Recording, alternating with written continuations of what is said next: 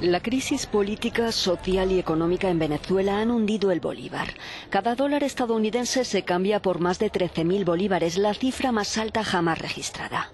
Standard Poor's ha advertido de la posibilidad de que Venezuela incurra en un impago de deuda.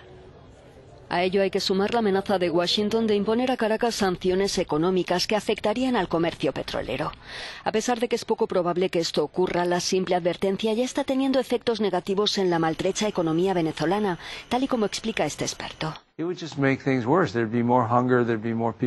Solo empeoraría las cosas, habría más hambre, más gente que no podría obtener medicamentos básicos, sometería al país a más privaciones.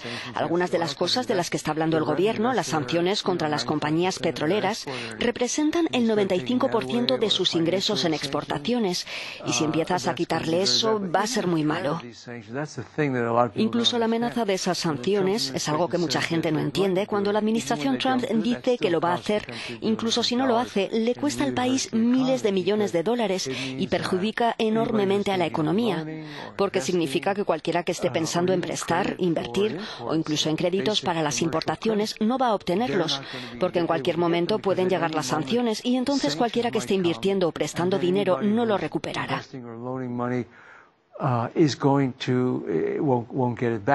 Venezuela ha pasado de la abundancia a la miseria más absoluta. Su inflación en el primer semestre alcanzó el 176% y podría llegar hasta el 700 a finales de año, según el Fondo Monetario Internacional. Los venezolanos pasan hambre, carecen de bienes de primera necesidad y de medicamentos.